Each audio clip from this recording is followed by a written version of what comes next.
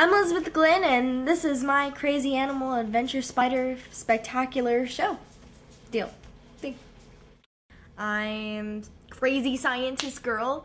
I have a lot of different sides and a lot of different personalities that I think all come out when I do different things with animals. I have a lot of things that I like to express. There's different sides. There's not just one side to me or really any person. Everybody thinks what they see is what they get. Oh no no. It gets a lot crazier. Come here, buddy. This is Ricochet. He's my lawnmower. I mean, African spur-thighed tortoise. Scientific names can tell you a lot about a creature. This is a Geochelone sulcata. Geo meaning land, chelones meaning tortoise, and sulcato meaning ridge. What you can tell on the back is how he grows. Kind of like a tree with rings. Sulcatos are the largest mainland turtles, whereas Galapagos are the largest turtle ever. Well, since the time of the dinosaurs at least. When people first go into a pet store and see an African spur-thighed tortoise, never usually see a little creature that's about that big, because that's how big they sell them. They don't realize that in 10 years, he'll be 45 pounds. And in another 10 years, he'll be 80 to 100, which is like my weight. I have to follow him around the yard because when he sees something, he goes after it and nothing gets in his way. His scales are very elongated and spiked. That's for in the savannah digging huge burrows, which can be anywhere from a tiny burrow about that big to sit in during the day to 10 feet down at a slope so that he can stay cool during the hottest part of the day. This is actually the perfect time for him to eat because this is when he's used to eating in the desert. Ricochet lives on a high fiber diet, 70% fiber because where he comes from, he eats tall savanna grasses. He would love nothing more than to eat a whole bunch of strawberries because of their sweet taste, but he can't really digest those. But right now he's happy, he's more than happy just to chow down on some delicious grass. He eats a lot. We have a side yard and he ate all the grass out there. We have to take him out into this yard and our neighbor's yard. But I'll tell you what, he makes the best lawnmower money can buy. You'll see that he has really strong back legs that he's trying to push me out of the way or dig his way through the air, which doesn't quite work. I just can't imagine lifting him up when he's 150 pounds. I gotta get some more muscle on me first. Uh, there you go, big buddy. Geochelone sulcata, or as I like to call him, Ricochet, who lives in our backyard, the African spur-thighed tortoise, does not hibernate like other turtles. Who knew? I grew up with all kinds of animals. I grew up with turtles, and I grew up with little dogs, and I grew up with birds. I grew up just wanting to learn everything about everything alive. And I grew up watching a lot of TV, a lot of Discovery Channel. I one time told my mom, I said, I'll go to bed when Discovery's over. this flightful, feathery little guy is a European starling, first brought over to the United States in 1860. They were brought over because people decided they were going to bring over all the birds mentioned in Shakespeare's plays. Now there's an overpopulation of these guys, and that and sparrows.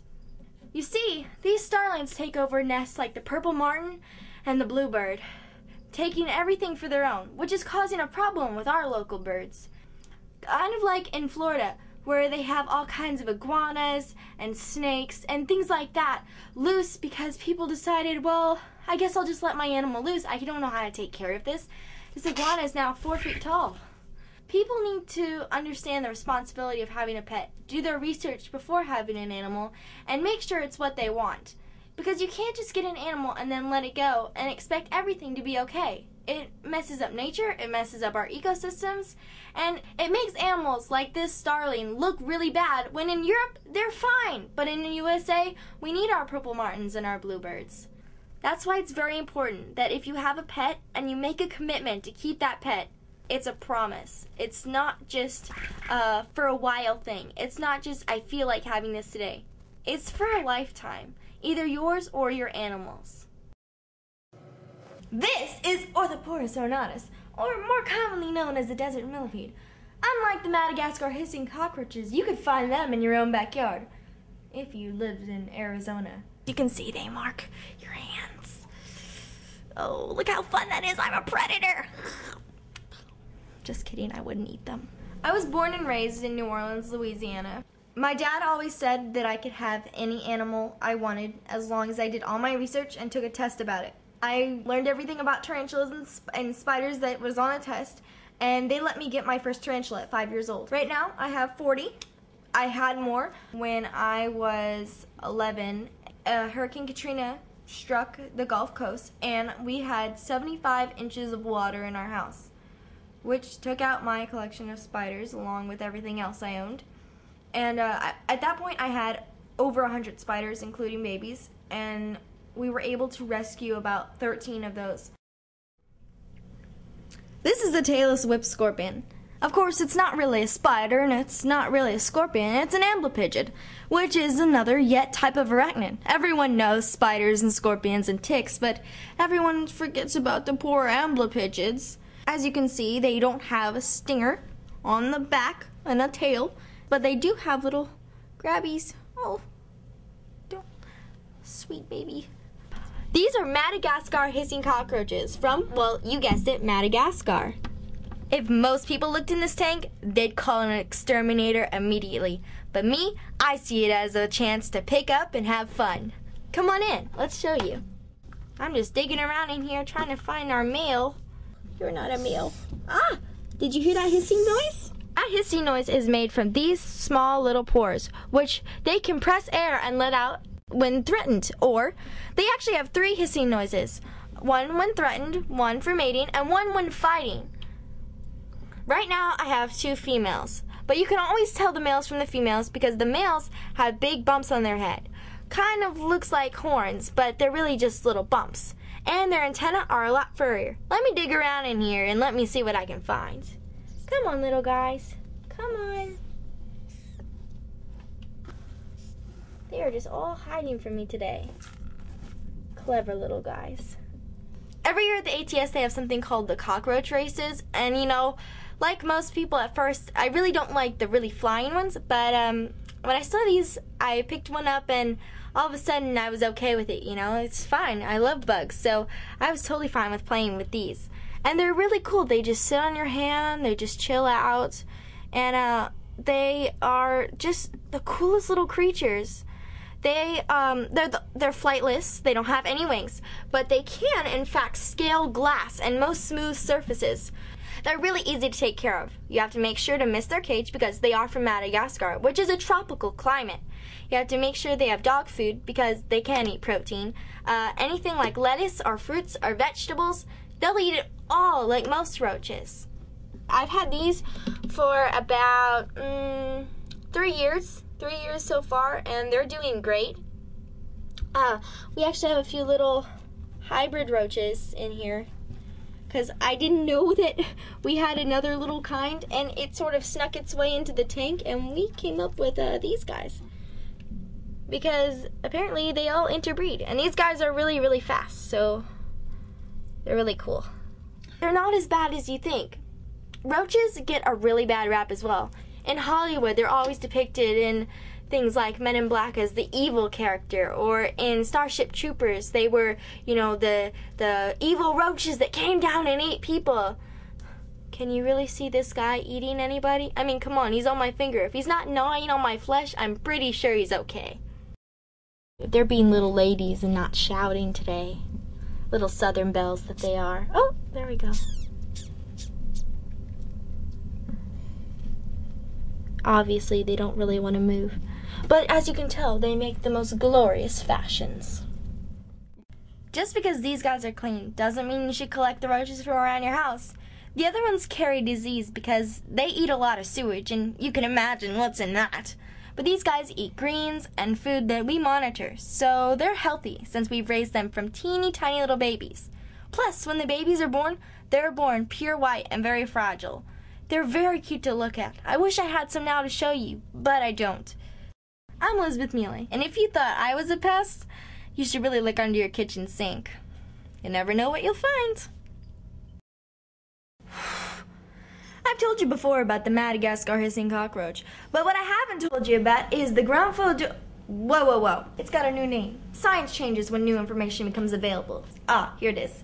The Androlaelap schaeferi, a small mite that lives on the legs and torso of the Madagascar hissing cockroach. Androlaelap schaeferi takes part in the same meal as the roach. Originally thought to suck the juices out of the legs, it is now known that that is false. This is Kismet. She's a Cyclura lewisi hybrid. Just because she isn't green doesn't mean she's not an iguana. We've had her for, I think, eight years. She came to us about the size, half the size of her tail right now. She came to us as this ferocious, man-eating lizard, but when we got her, she was as docile as about a kitten. She snuzzled up to us and instantly took a liking. Kismet's diet consists of leafy greens like mustard greens and collard greens and her favorite treat is blueberries. When you put down blueberries in front of her, she'll just dive in and come up with this blue mouth with all the juices and skin stuck to her face. It's actually pretty funny to see. They're not supposed to eat dog food or proteins because, like the turtles, they really can't digest it and it can actually kill them. Also, they need a lot of calcium. If they don't eat a lot of calcium, they can get metabolic bone disease and they can also, which causes their limbs, their bones to get brittle, and if they were to, if a predator were to attack or if something were to hurt them, their limbs would fall off. As you can see, she has a white dot right there. That's a light sensor. So if a predator's coming overhead, she can tell and she can dart away or she can you know, hide underneath something. It also helps with daytime and nighttime. She can tell when it's getting dark and can find a spot to hide for the night. Or she can tell when it's getting light and she can quickly wake up. So good. It's so good for you. Apparently she doesn't like carrots in this big of chunks, but she likes it in her salad. In fact, she gets salad that looks better than the salad I eat. Kismet, like most reptiles, sheds her skin. As you can see, she's going through a shed right now, which makes her very itchy. So it's kind of funny to look over and see her scratching behind her ear like a dog, which she thinks she is already. One of the defenses iguanas use is their heavily spiked tail, which if a predator were to come up, she'd whip around super fast and hit them in the face or body, and usually that takes care of them. Right now, she just wants to love and climb. Hey, you come here often? No? The people in this place are just animals. This is Kismet. She's a Cyclura nubila lewisi hybrid. The Cyclura lewisi are probably some of the rarest iguanas in the world. In fact, in 1980, they were down to 30 individual creatures. Now, with the help of conservation, they're up to a few hundred, but still, that makes her kind of a find.